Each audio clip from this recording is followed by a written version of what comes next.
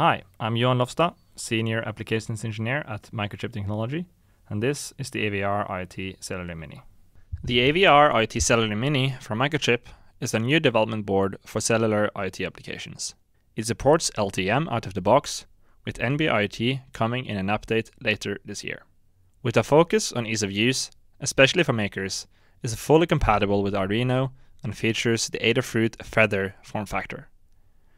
It hosts the AVR DB as the microcontroller, the ECC628B as the secure element, and the GM02S as the cellular module.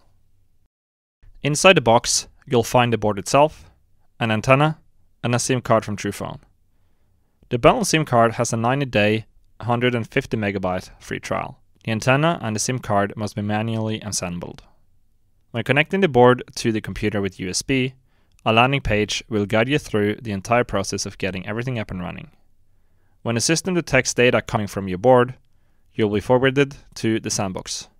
The board is Arduino compatible and comes with a fully featured cellular library, which you can use to connect to the network with very few lines of code. You can use plain HTTP, HTTPS, and MQTT, or you can connect directly to AWS.